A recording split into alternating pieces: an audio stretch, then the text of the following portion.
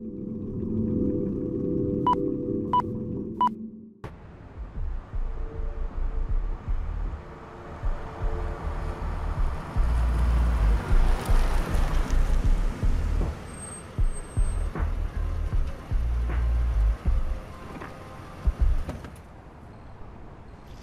I thought we was going home. We is.